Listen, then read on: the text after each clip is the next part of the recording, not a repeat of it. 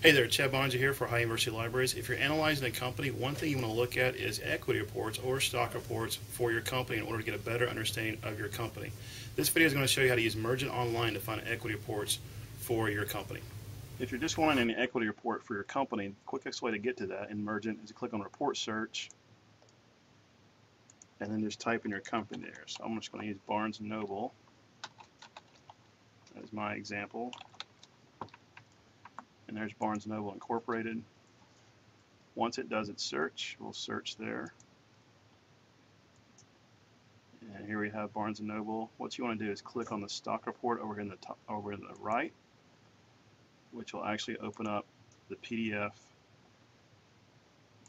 of the report, giving you a two-page PDF, buy, sell, hold recommendation, some uh, financial information, earnings momentum, recent developments, prospects, things like that. It's a great way to do a quick analysis and get some good information for your company.